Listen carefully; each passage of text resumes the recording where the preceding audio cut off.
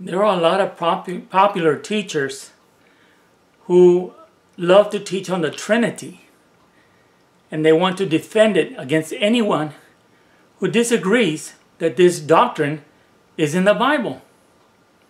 And indeed, this doctrine is not in the Bible.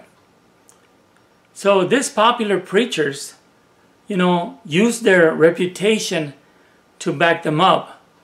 But really, nothing can stand against the truth. And that's why I do these videos. Because some years ago, I was a Trinitarian. But the Lord revealed to me one day that I needed to study the Word of God and not to add or take away from it.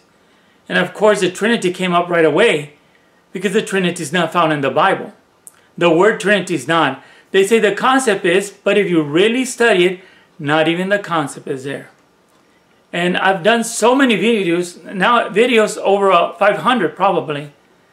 And many of these, the majority of these, I would say 80% of these are about the Trinity, the falseness of the Trinity. Now, today, I want to point to something very, very important. I believe that most of the popular preachers that defend the Trinity, Protestant or Catholic, I believe that they are misleading the public by stating that the doctrine is in the Bible. And all they use is some verses in the Bible to try to prove the Trinity. They never allude to the history of the Trinity, the origin of the Trinity. They never allude to that because they know. They know that if they go into history, they're going to be found out to be liars. Now, think about it. If the word Trinity is not in the Bible, then where did it come up for the first time? This is what all serious Trinitarians should be talking about. If they really believe that their doctrine is biblical and of God, then they should show where did the, the, the word Trinity come up for the in the first place. You see, they don't do this because it's not convenient. And it will destroy their idea that the doctrine of the Trinity is biblical. Because the first place and the first person to coin the word Trinity was a, a bishop by the name of Theophilus of Antioch. And this man wrote about the Trinity. And it is written in the Ante-Nicene Fathers' uh, writings. It is well documented how what he believed about the Trinity. And I believe the reason that most popular preachers don't want to go into the origin is because if they go even to the place where Theophilus started quoting the Trinity, they will see, and then they would have to tell the, their people that Theophilus was a Greek philosopher who called himself Christian, but he still upheld philosophy as a gift of God. And he took his ideas from none other than Philo of Alexandria. And this is very, very important for you to know. If you're serious about following Jesus, following the Lord, then you need to know the truth. You cannot ignore the truth because popular preachers are putting their face on the camera and saying with a straight face that they believe the Trinity is biblical. We must unmask all the popular preachers and we must unmask all the false teachings that are going out about the Trinity. And we have tried to do this with over 500 videos, as I had mentioned before. But now I want to deal with something very important that any doctrine that is not found in the Bible will be found in history. Any doctrine, I repeat, that is not found in the Bible will be found in history where someone put it into the church. And so let's start with Theophilus of Antioch and his writings. Since none of the popular preachers want to teach on the origin of the Trinity because they know they're in trouble.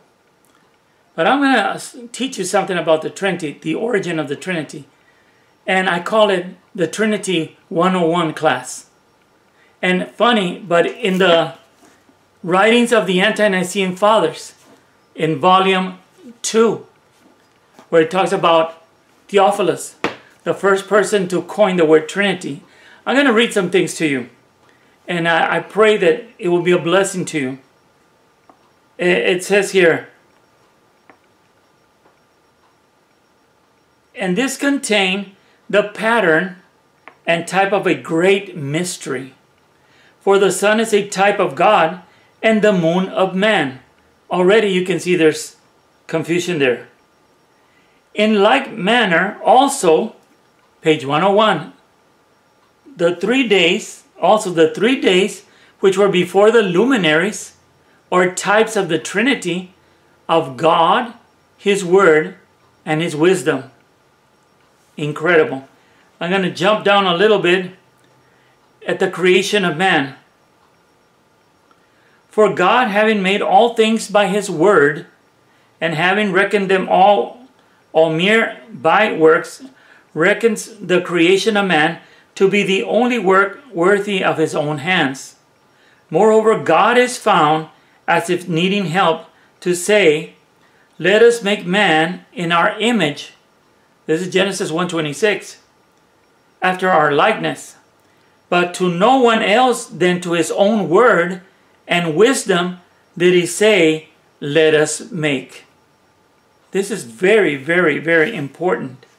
What can you say about that? And, and then if we keep going down, it says, this is on page 103. The God and Father indeed of all cannot be contained, and is not found in a place, for there is no place of his rest. But his word, through whom he made all things, being his power and his wisdom, assuming the person of the Father and Lord of all, went to the garden in the person of God and conversed with Adam. Here's uh, Theophilus teaching that God, the supreme God being, does not move, does not do anything, but he sends his word, or he sends a second divine person. Watch this on page 103. But what else is this voice but the word of God, who is also his son? And then he says, He begot this word, uttered, the firstborn of all creation, not himself being emptied of the word, reason, but having begotten reason, and always conversing with reason, and has the hence the only writings teach us, the holy writings teach us, and all the spirit bearing men, one of whom John says, In the beginning was the Word, and the Word was with God. And this is John 1 1 showing that at first God was alone and the Word in him. Then he says the Word was God. All things came into existence through him, and apart from him, now one thing came into existence. The Word then, being God and being naturally produced from God, whenever the Father of the universe wills, he sends him to any place, and he coming is both heard and seen, being sent by him and is found in a place. Interesting. There we have Theophilus teaching on God, Word, and wisdom. Something that you would ask, well, where did Theophilus of Antioch get this teaching? You know, where did he get the idea that God was three? Where? Because later on he says that the Word of God is the Son and wisdom is the Holy Spirit. Let's look at that. On page 98, we pick up where Theophilus of Antioch is saying, God then, having his own word internal within his own bowels, begat him, emitting him along with his own wisdom before all things. He will later teach that the word was the Son and the wisdom was the Holy Spirit. And this was, would be taken up by Irenaeus also. And then he says this uh, He had this word as a helper in the things that were created by him. And by him he made all things. Listen to this. He is called the governing principle because he rules and is Lord of all things fashioned by him.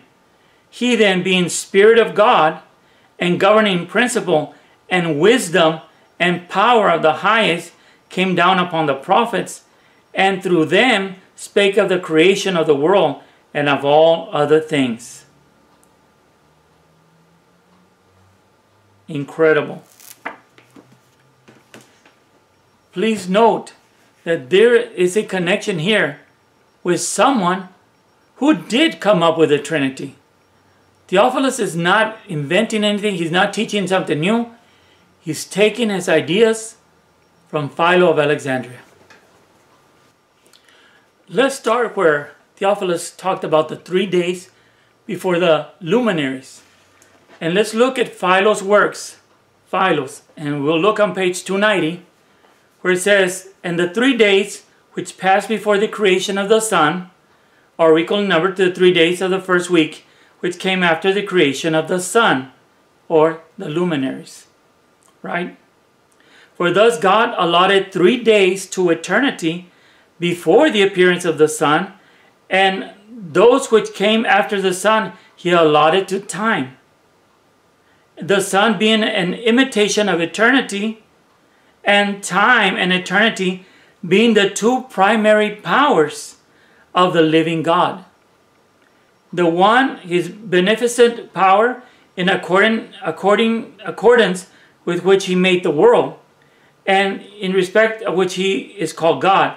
The other, his chastening power, according to which he rules and governs what he had created, in respect of which he further denominated Lord. And these two here state here states to be divided in the middle by him standing above them both. For says he, I will speak to you from above the mercy seat, and in the midst between the two cherubims, that he may show that the most ancient powers of the living God are equal. That is to say, his beneficent and chastising power both being divided by the same dividing word. Here we see the language that Theophilus was using. Philo was the first to use it, talking about the God and his two powers that came, uh, you know, before the luminaries. And so this is interesting to know that Theophilus was not the originator of the Trinity concept. It was Philo of Alexandria. Now, the reason the Trinity came about was because of this Greek Jewish philosopher, Philo of Alexandria. He knew the Word of God, but he also was very mixed up with theology, mixed up with Greek philosophy and mysticism. This is Philo of Alexandria. And he was not really accepted in the first century by his own people, the Jewish people. But later on, he would be accepted, his writings would be accepted by the Apostolic and Ante-Nicene Fathers, which are the Catholic fathers. Listen to this on page uh, 83. I have also on one occasion heard a more ingenious train of reasoning from my own soul, which was accustomed frequently to be seized with a certain divine inspiration, even concerning matters which it could not explain, even to itself. Which now, if I am able to remember it accurately, I will relate. It told me that in the one living and true God, there were two supreme and primary powers goodness and authority, and that by his goodness he had created everything, and by his authority he governed all that he had created, the governing principle that Theophilus mentioned. And the third thing which was between the two had the effect of bringing them together was reason for that, for that it was owing to reason that God was both a ruler and good. Now, of this ruling authority and of this goodness being two distinct powers, the cherubim were the symbols. Wow. Very interesting. Philo had a, an experience, he had a mystical experience where a voice told him that God was never alone, that with God there existed two powers that were equal. And he calls one of them the governing principle, the same as Theophilus. The same. There is no mistake in this. Theophilus copied the three days before the luminaries, the Trinity, the God, Word, and Wisdom, and he copied from Philo on the governing principle also. Now, if you still have doubts that Philo was the one that came up with the Trinity, listen to this. This is found in page 11 of On the Creation. It says, And he would not err who should raise a question why Moses attributed the creation of man alone not to one creator as, as he did that of other animals, but to several. And then on the following paragraph it says, It is this account, on this account, that Moses says, at the creation of man alone, that God said, Let us make man, citing Genesis 1.26, the same as Theophilus. Let us make man, which expression shows an assumption of other beings to himself as assistants, in order that God, the governor of all things, might have all the blameless intentions and actions of man when he does right attributed to him, and that his other assistants might bear the imputation of his contrary actions. He calls those two powers two other creators. There is no mistake here. Philo was teaching a trinity of divine persons, and he allegorized Word to be the, the Son or the one who did all the things, and wisdom, Sophia, to be the Holy Spirit. This is how the Trinity came about. Philo Alexandria was the first to start teaching on this because of its mystical experience. And Theophilus took it up, not only Theophilus, but all the apostolic and ante-Nicene fathers. This is the truth, and this is the, the class, the Trinity 101. I will leave you with this. I've, I've shown you that Trinity was first coined by Theophilus at Antioch. And then I took you to the works of Philo, where some of the similar words were used, such as powers, such as the governing principle, the three days before the luminaries or before the sun, and on and on and on. There's many more things. Uh, Philo used Genesis 126. Theophilus used uh, Genesis 126. Uh, and then Theophilus also used John 1 1 and all these things. But I'm going to leave you with this. I said at the beginning that if the Trinity or any other doctrine is not found in the Bible, it has to be found somewhere in history. And this is the truth of the Trinity. Although the Trinity was believed in the second century and then went on to the third and fourth century, it was at the Council of Nicaea 325 that they really put emphasis on the Trinity doctrine. And this is something that you need to understand. In other words, all our popular Protestant preachers are, are saying that the Trinity is biblical, but they're covering up the fact that the Trinity was given to us by the Roman Catholic Church. And if the Trinity is not found in the Bible, guess what? Is it found in the history of the Catholic Church? The answer is yes. I'm going to give you an example of all the things that happened uh, during several centuries. And with this, I will leave you. God bless you on your search for the truth of God's Word. I'm going to give you some historical dates from this book, Revelation Illustrated and Made Plain by Tim LaHaye. And there's other books that I have that give dates, but I thought it would be interesting to relate these dates.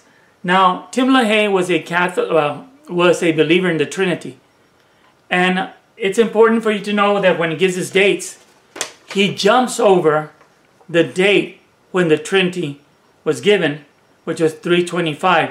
It was established as state law, and the Roman Catholic Church was a state religion. He overlooks that but he still gives us very valuable information. Remember, if it is not found in the Bible, it will be found in history.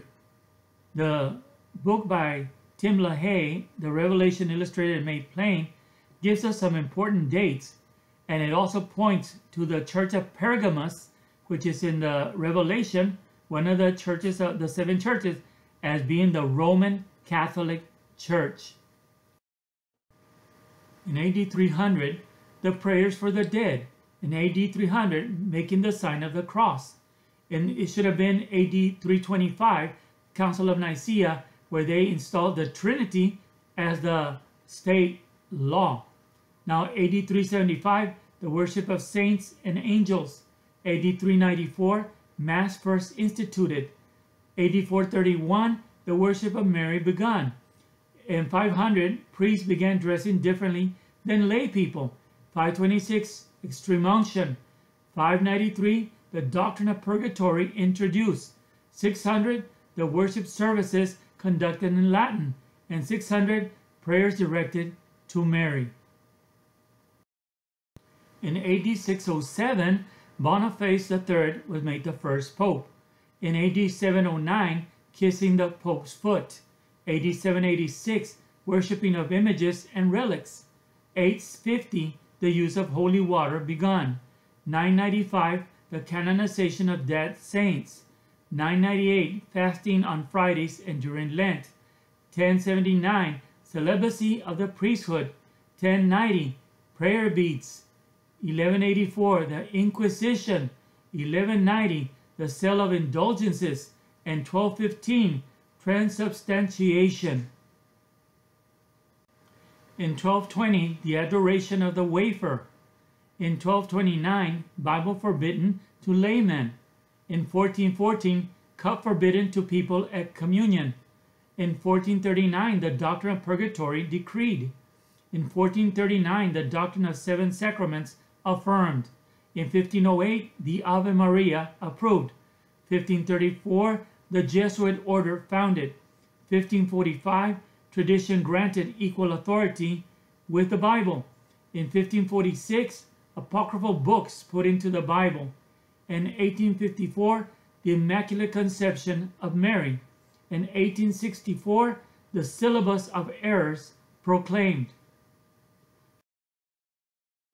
In 1870, the infallibility of Pope declared. In 1930, public schools condemned. In 1950, the Assumption of the Virgin Mary. And in 1965, Mary proclaimed Mother of the Church. As you can see, all of these are not in the Bible, but they are found in history because history reveals false doctrine.